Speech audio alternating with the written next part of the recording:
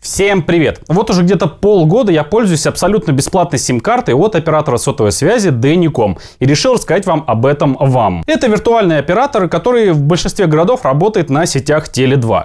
У него есть несколько тарифов, там, по-моему, 5 штук, из которых два абсолютно бесплатных, то есть абонентская плата составляет 0 рублей в месяц, и при этом есть целый пакет бесплатных минут, смс и гигабайтов, но опять же в зависимости от тарифа. Но, разумеется, абсолютно бесплатного в этом мире нет ничего, и расплачиваться приходится тем, что несколько раз в день приходят рекламные э, спам, ну, рассылки, смс со всякой рекламы от самого Даникома и от его партнеров. То есть нужно быть готовым, что каждый день вас будет атаковать вот эта вот спам-рассылка, спам-реклама. Не знаю, как вам, лично мне это кажется совсем небольшой платой за полностью бесплатную сим-карту, тем более, что лично я покупал ее для мобильного роутера. Собственно, я и брал симку именно для того, чтобы поставить ее в мобильный роутер, потому что, ну, получилось, что у меня есть такая задача, что мне нужен мобильный интернет совсем небольшим пакетом трафика. Но, к моему огромному сожалению, практически ни один из популярных операторов сотовой связи не предлагает тариф, ну, как минимум, какой-то совсем уж недорогой, скажем, там рублей за 100-150 в месяц, или же абсолютно бесплатный с каким-то небольшим пакетом трафика. Хотя, если быть точным, то у некоторых операторов такие тарифы есть, да, точнее, они были, и в свое время можно было к ним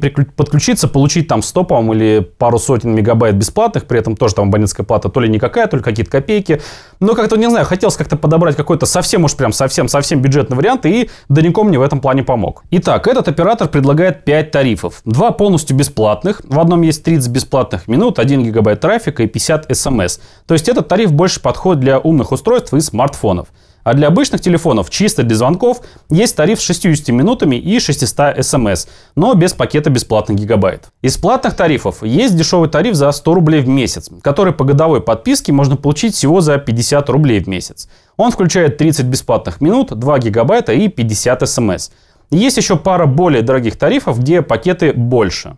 Если вы выходите за пределы бесплатных пакетов, то, разумеется, будет сниматься небольшая плата за каждый дополнительный мегабайт, смс или минуту. Но можно купить дополнительные пакеты. И самое приятное, что есть возможность конвертации минут, смс и мегабайт друг в друга. То есть, например, если вы используете симку чисто для звонков, то вы можете обменять смс и мегабайты на минуты. Вот лично мне нужен только мобильный интернет, поэтому, когда бесплатный трафик кончается, я просто конвертирую ненужные мне минуты смс в мегабайты. У Dany.com есть фирменное приложение с вполне стандартным функционалом, там можно посмотреть э, свой счет, можно его пополнить, можно посмотреть там подключенные услуги, подключать пакеты и так далее. В общем, все вполне стандартно. Лично я пользуюсь веб-интерфейсом, веб-сайтом, потому что, как я уже говорил, симка стоит в роутере, и э, использую я эту симку исключительно для раздачи интернета. Причем, что интересно, в первый же практически день, как я этой симкой начал пользоваться, я совершенно случайно подключил ноутбук к этому Wi-Fi, и ноутбук обновлениями выжрал весь гигабайт, мне пришлось там докидывать денег. Но удобство заключается в том, что получается, что симку совершенно спокойно можно использовать для раздачи интернета, хотя по сути она предлагается для смартфона, но расшарить интернет ней можно. Ну, теперь поговорим о минусах, но если быть точным, это будут не минусы, а нюансы, ну, потому что все подумают, что это какое-то там заказное видео, и я обязательно должен рассказать о каких-то недостатках, поэтому я сейчас попробую максимально вот все-все, что мне как-то не понравится, высказать вам. Значит, ну, первое, самое главное, приблизительно где-то год назад, когда я хотел заказать эту симку, э, в моем, в моем регионе заказать бесплатную симку было просто нельзя, там написано, что типа там превышен лимит, нету бесплатных симок. Я подписался, встал в очередь, подписался на рассылку, и через некоторое время, почти через полгода, там мне пришло сообщение о том, что появились бесплатные симки, можешь заказывать. Я заказал, симку получил. Второй нюанс заключается в том, что доставка осуществляется с другого города, по-моему, с Краснодара. В лучшем случае это будет либо же курьером, либо же это будет почтой. По-моему, сейчас это почта либо простое, либо заказное письмо за денежку, там, за 120 рублей, если не изменяет память. В любом случае, симку придется ждать какое-то время, ну, там, в худшем случае, это может быть там неделя-две. Мне, по-моему, обычной почтой симка шла неделю, если, по-моему, даже не две. Но в этом плане я никаких, никаких проблем не испытал, потому что мне симка срочно не нужна была. Очередной нюанс заключается в том, что раньше, ну, по крайней мере, раньше были какие-то проблемы с активацией. По-моему, и сейчас эта проблема имеет место быть. У кого-то активация сим-карты проходит очень быстро, кому-то приходится ждать несколько дней. То есть, опять же, в худшем случае прибавляем еще несколько дней на сам факт активации, чтобы сим-карта заработала после того, как вы ее получили.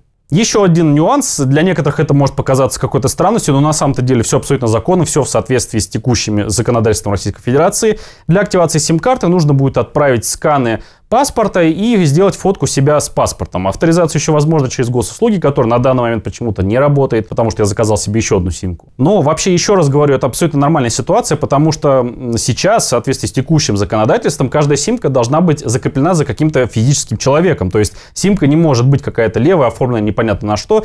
За каждой симкой, условно говоря, должен стоять конкретный человек. И э, этот человек определяется тем, что мы предоставляем паспорт и фотку свою с паспортом в руках, чтобы понять, что вы человек реальный. Разумеется, по сути, это вовсе недостатки, а такие маленькие нюансики, опять же, которые не несут ничего такого прям негативного, но об этом надо было все-таки сказать. Лично для меня недостатком является то, что этот оператор, как я уже сказал, виртуальный, он работает в основном на сетях Теле2, не везде, но в большинстве случаев. И лично у меня есть все-таки места в городе, где Теле2 ловит не очень. Хотя, надо признаться, там, где вообще не ловит Теле2, там практически не ловит никто. Какие выводы можно сделать? Ну, во-первых, это действительно реально абсолютно бесплатная сотовая связь, целых два тарифа, в которых э, есть определенные пакеты, включенных там смс-минут и гигабайтов, которые достаются бесплатно, не надо пополнять счет. Если вы не выходите за рамках этих пакетов, не подключаете себе дополнительные пакеты, то, в принципе, эта связь абсолютно бесплатная. То есть, вот реально, я симку поставил в роутер, я только в первый месяц превысил этот лимит, пришлось там немножко докинуть денег, и все, и с тех пор я вообще забыл, я этот счет вообще не пополняю, а интернет он как был, так и есть. Также плюсом является то, что, ну, по сути, нет никаких подводных камней, то есть, и,